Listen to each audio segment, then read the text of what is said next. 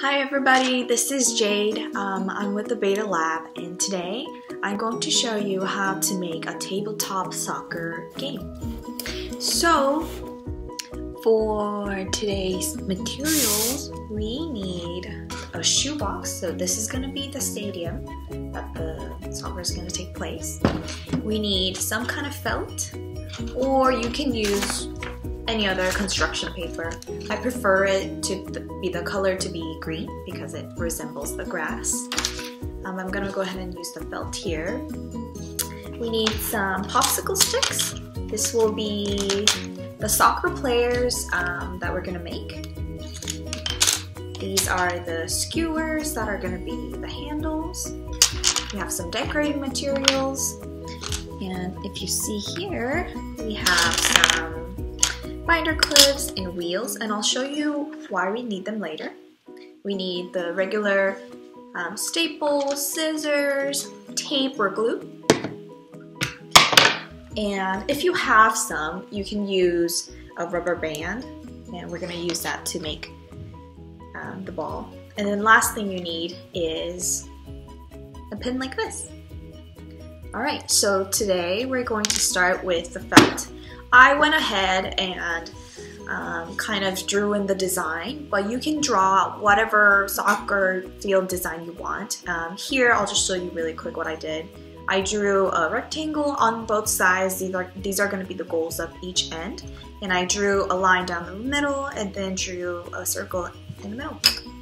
All right, so in using the shoebox, we are going to put the field inside the box. Um, right now it's a little bit big, so I'm going to measure really quick how much I need to cut. Let me go ahead and cut the sides.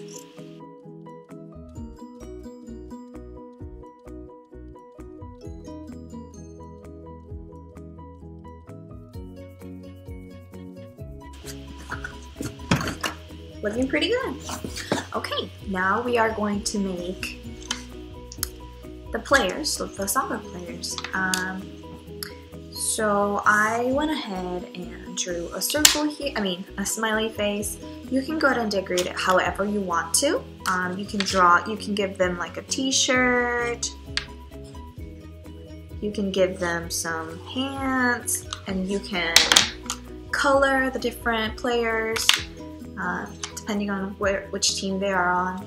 I went ahead and colored them really simply.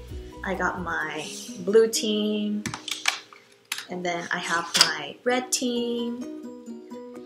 And when you're making these players, you can go ahead and add arms like these, arms and legs, using the pipe cleaners. So you can make them look like they have hands. And I'm gonna go ahead and do that with tape.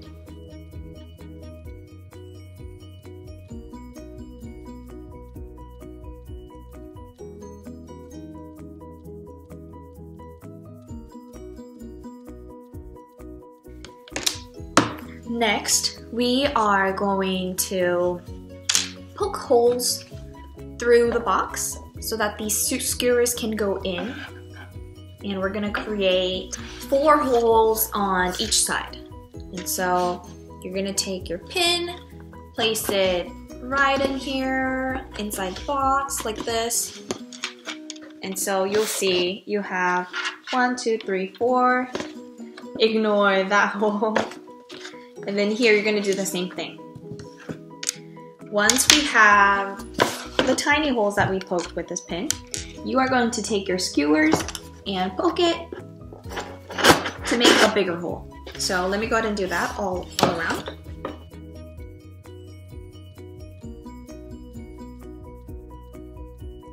Looks like we have our eight holes here and eight holes here.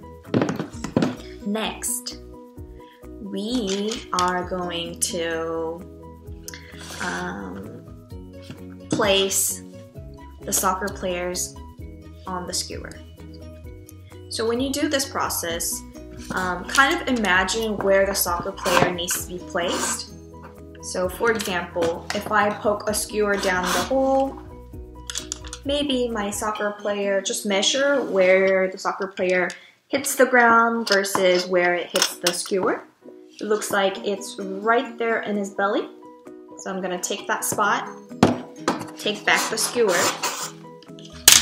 and tape him right where he needs to be. So taking my skewer, I'm putting a tape around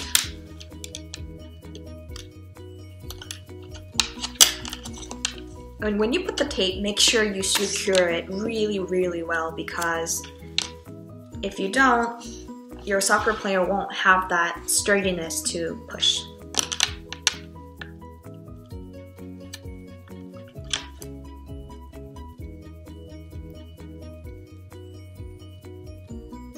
Just like that.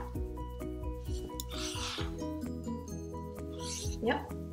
And this will go inside the box.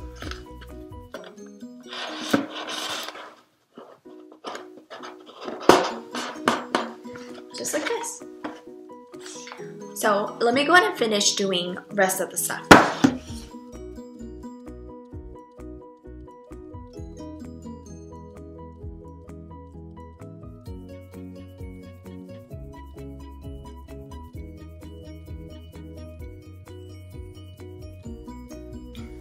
Okay, all of my players are on the field.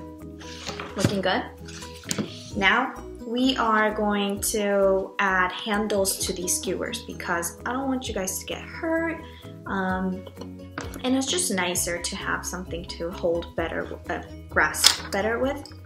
So here, for the pointy ends, we can use like the binder clips like this, and this will help you hold it like this and it really clamps it together. So you're good here.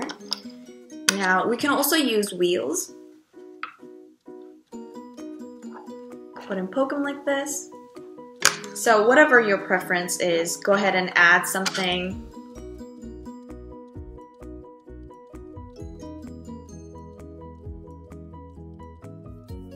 Okay, we are almost ready. Um, you were probably wondering, why do you have a hole on this side? That's probably because we need to make the goal. I'll show you how I, you can make a bowl here. Um, so I went ahead and did the other side, I'll show you right now. So a lot of the shoebox, you can open it like this, right? And it has two flaps, oops, two flaps like this. So we're gonna make some cuts. First, we are going to cut this part, this flap off first.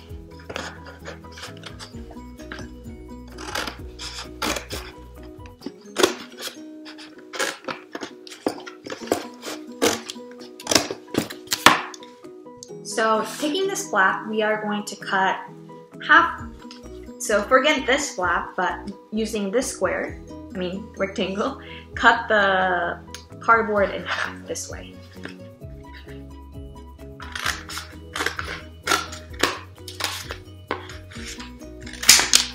So we're gonna keep this with the flap. Now, taking these flaps, you are going to cut halfway like that.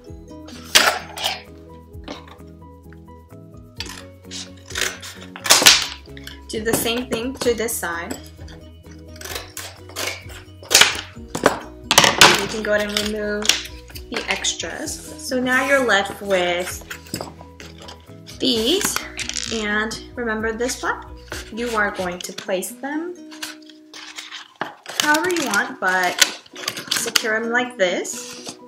And you can staple them. So you're gonna staple this side, um, so staple right there, and staple this side as well. Yay, you got some openings now. Oops.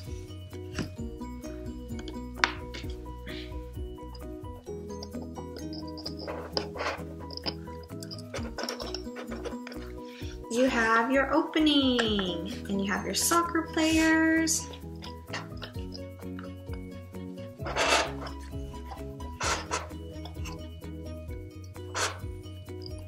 last thing is making the ball. So it's really nice if you have a ball. Any kind of ball will work, the lighter would be better.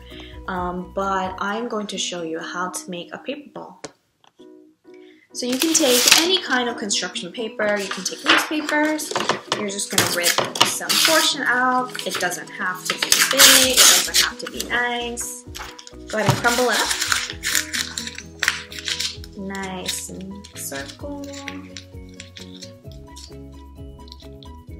And yes, you can play like this, but there's a chance that this paper can be undone. And so what we are going to do is use rubber bands and start wrapping it around.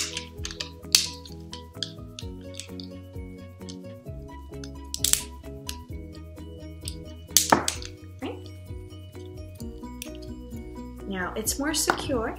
Um, this one is a little lopsided, but the one that I made previously um, is more circular like this and you can go ahead and drop it in your box. So the ball would go in, you can make this move like this, you can move it this way to block in. Um, so that's how you make tabletop soccer game. So start thinking about different ways that you can improve this. Um, you don't have to follow my exact instruction. Maybe think about how it'll affect if you put more players on the same skewer. So maybe like two players, one player. Is that going to affect the game? Um, think about how to decorate the box to make it your own style. And um, as I mentioned, kind of wonder what other materials or tools can you use to make your handles. I hope you enjoyed the process. Make sure to um, bring your family members or your siblings to play with and then uh, have fun. So thanks for sitting with me through the process and see you, see you guys later. Bye!